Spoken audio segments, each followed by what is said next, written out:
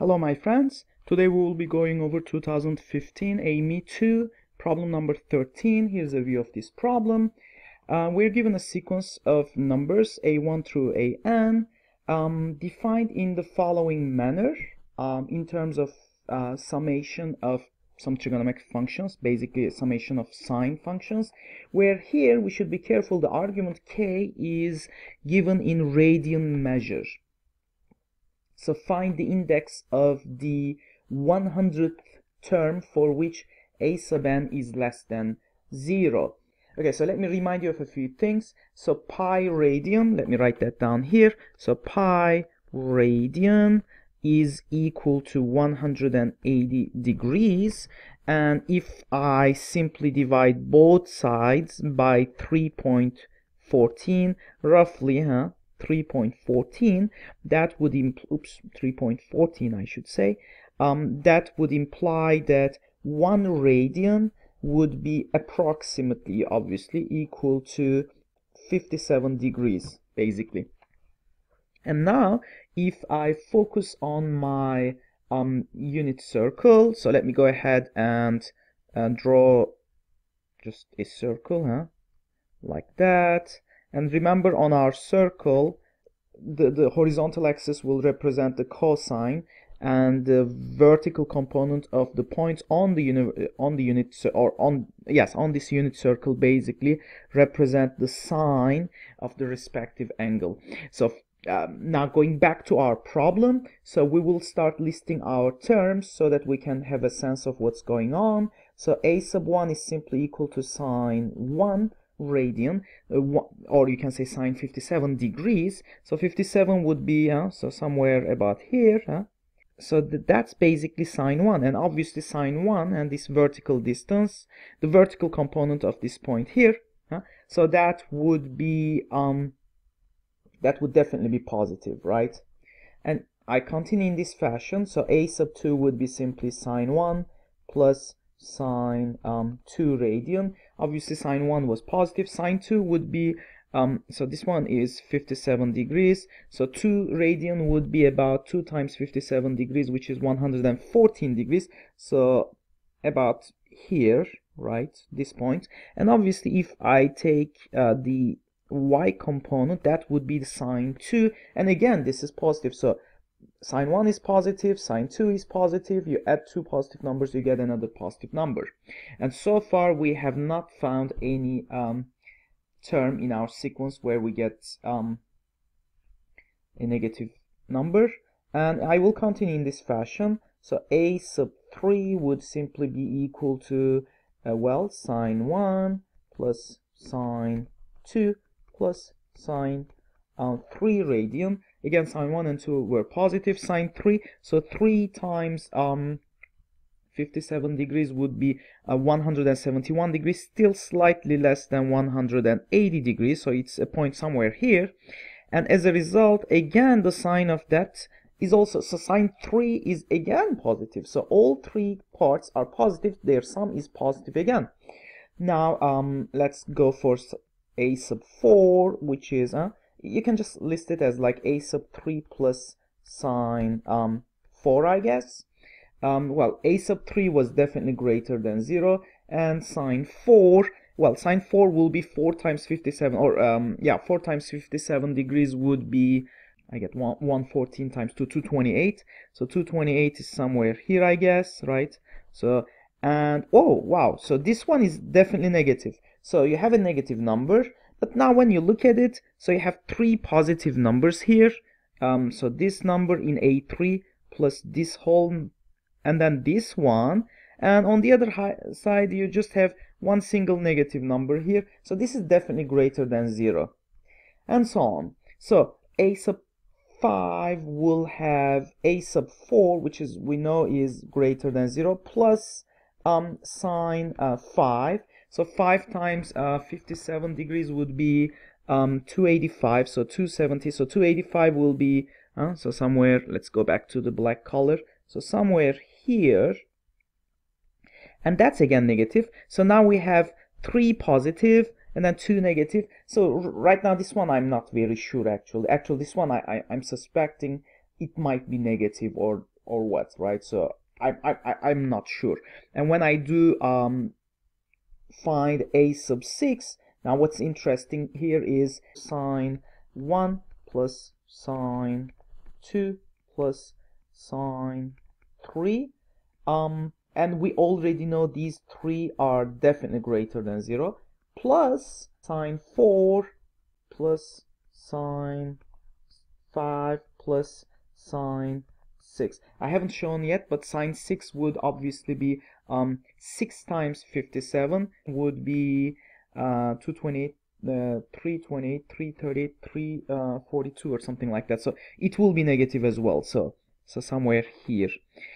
And it turns out okay so uh, so therefore these three are definitely negative less than zero. Well it turns out if you run a computational device like uh, um, like a calculator or on your computer microsoft excel you would just realize that um, a5 is actually greater than 0 but a6 is the first number in that sequence of numbers which is actually less than 0 and then you wonder what will happen next, right? So, um, and so we just established the first one, and it turns out again, if you run a, a computational device, that the next number in the sequence will be less, which will be less than 0, will be A12. So the first one was A6, and then the, the following one will be A18, and, the, and then the next one, to our surprise, is not A sub 24, but A sub 25 and so on. Um, so, um, so this is so this is the first one. That's the second, the third, and so on. So that that would be the fourth number in our sequence, which is less than zero. And the question is asking for the 100th one.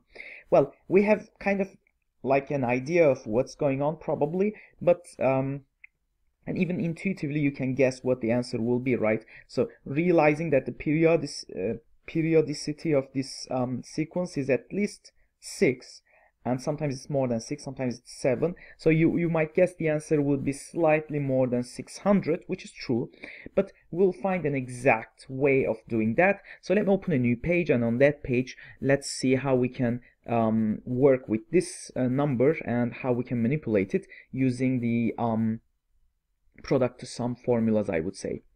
Okay, so let me um, go ahead and rewrite the um, the expression. So we are given a sub n is um, equal to the summation of sine of k radian, k being equal to going from 1 to n. Now the key here, and this is a very common technique in um, in AIME problems, huh, when you are given such uh, trigonometric functions, um, is to somehow uh, make a telescoping argument out of this uh, summation. You might say there's nothing to telescope yet. Yes, that's true. But it will happen as soon as I multiply and divide this expression by sine 1. And so that expression will become something like this. And as I said, this is an extremely um, useful technique that you can solve AIME problems actually. Um, and so therefore the sum will become something like this. Um, sine um, k times sine 1. And obviously I can um, put that 1 into the summation sign because, uh, well, it, it is a constant and that you can bring any constant inside and out. But you realize that I multiplied and divided um, this expression by the same number, so I did not change its value. But that's now good. I can use the product to sum formulas for the sine function, sine times sine A times sine B. It turns out sine A times sine B is simply equal to 1 half times cosine A minus B minus cosine A plus B. And let me go ahead and write that down. So therefore sine 1 summation let me just shortcut let me just say k here. And then we would have as I said there will be a one half. So let me actually go ahead and put that one half out that two out. And so what's remaining inside would be cosine k uh, minus 1 uh, minus cosine um, k plus 1 and that's perfect now. Uh, now we can go ahead and expand this uh, summation and, and, see what happens next. So um, we have the coefficient at the front, so let's just repeat that. And then, so when I plug in k equals 1, I get cosine 0 uh, minus uh, cosine 2 plus I plug in 2, I get cosine 1 minus cosine 3. I plug in 3, one more, huh? So I will get cosine um, 2 minus cosine uh, 4. So I plugged in 3 and so on. Um, well, if you observe uh, closely, you will realize that this is a telescoping series and you can already guess what's going on. But let's uh, write the last uh, so let's plug in all the way to n minus 1 and then finally n. So when I plug in n minus 1 I will get cosine uh, n minus 1 minus 1 which is n minus 2 n minus 2 minus cosine. So n minus 1 plus 1 which is cosine n um, and then finally, uh, when I plug in n, I would get cosine n minus 1, oops, minus cosine n plus 1. And then I can close the big um, brackets here. And now, um, if I cancel the like terms, for instance, starting with this term here, I realize it's matching with this one, so there's these two would cancel out. That cosine 3 here will match with the next term first number here. It would have started with cosine 3, so that should be gone as well. Likewise the cosine 4 and all the others should cancel out. Um, and as I said the first number would cancel with two previous term uh, last number so that one will be definitely gone as well. And in a similar way you can easily establish that this one would have been gone as well. So therefore all the remaining terms are basically cosine 0 cosine 1 minus cosine n minus cosine n plus 1 and let's go ahead and rewrite this expression here.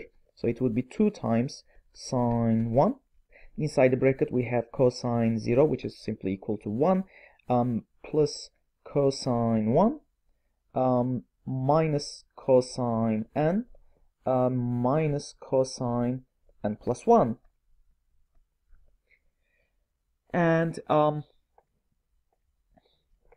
now the best way to proceed from here is um, to use the sum to product formulas because I want to check if this expression, this whole expression is greater, is if it's less than zero or not, right? So under what conditions will this expression be less than zero? And the way I will do it, so let me first uh, put a bracket here and let's change this sign here. Um, I will apply the sum to product formulas here and here separately. So therefore this expression will become, so that will be actually equal to. Um, so from the sum to product formulas there will be a 2 appearing and that it will cancel with that 2 here. So I will have sine 1 um, so this expression the first expression here will become cosine of 1 half. Oops sorry for that. Times cosine of um, well 1 half again I guess huh? Uh, minus um, cosine of uh, n plus 1 half times cosine of 1 half again. And and that's perfect. So now um, obviously uh, sine 1 sine 57 degrees is just a positive number. So this will have no effect whatsoever on the sign of the whole product. So all we care is the, the expression inside the bracket here and we want to find the conditions for which this will be less than zero. Uh, when I do that so therefore all I check is I can uh, divide both sides by cosine 1 half which is uh, I know this is greater than zero anyway so I can simply cancel out. So therefore the, the desired condition is equivalent to showing that cosine 1 half radian uh, is actually um, less than cosine, uh, because I want the whole thing to be negative, right? So that thing should be greater. Um, and, oops, uh, plus uh, 1 half. And, and that's it. So now let's uh, focus on the um, unit circle again. uh, to have some insights about how to interpret this result because we're almost done actually so um, remember the um, horizontal is the uh, cosine uh, of any given number. So cosine 1 half would be uh, about somewhere here. And the cosine of it sorry. So it would be um, somewhere here I should say. Um, and what we want is cosine n plus 1 half to be greater than cosine half.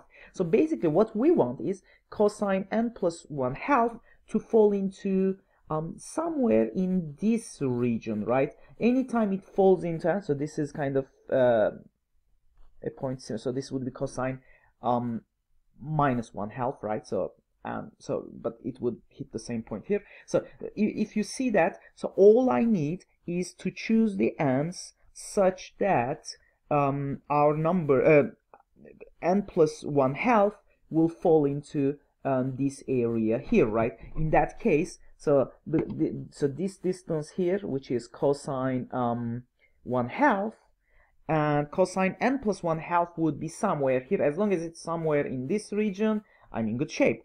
And it turns out that, uh, as we have suspected earlier, um, for n um, equals uh, 6 actually that's the first time where it will hit here inside and why is that because all I want huh remember so this thing if this angle is is one half here right? And this one is also one half by the way in terms of measurement radian measurement. So all I want therefore so this condition is actually equal to equivalent to saying that n should be uh, so it should be a number so uh, I already have half here and I can add all the way to 2 pi minus uh, 1, right? So anything in the range, okay, so let me write that down. So let, uh, let me be careful. Uh, I should say 2k, uh, sorry, 2k pi uh, minus 1, anything in this range, and 2k pi would work. But now what is fantastic is that 2k pi is an irrational number and minus 1 again irrational. 2k pi is irrational. So you have this range which measures 1 right? So the measure of this the length uh, length is equal to 1 and you, you you are squeezing between two irrational numbers. So there therefore there's only a single integer in that range. So therefore what i'm saying here every time we add 2 pi to 1 half and we start at this point here. Every time I add 2 pi to it huh? so 1 half plus 2 pi I know that I will only get one uh, number in our sequence which will be less than 0 because it will fall in this. So I'm saying that in this um, region there will be only a single uh, number right? So okay. And in a similar way all the way to between 2 pi and 4 pi again there will be another one. Between 4 pi and 6 pi another one and so on. So therefore all I should check is I will because I need the 100th uh, number for which it should be negative I need to go all the way to 200 pi right? And I will get 200 numbers in that case. 200 pi though um, I will hit this again right? So when I have 1 half plus 200 pi I will be again at this point. But all I need is I know that there will be a number in this range which will uh, uh, which will work and that number will be actually the integer which is less than that. So the uh, so that's it. So um um well I mean uh, without the one half obviously. Sorry for that. So the 200 pi huh? So that that's how much I, I need to I will have to add to the one half here to the one half here. And obviously pi is 3.14 200 times 3.14 would be 628 point something right? But then the integer value would be 628 and that's all. That would solve the problem. So hope to see you in our next video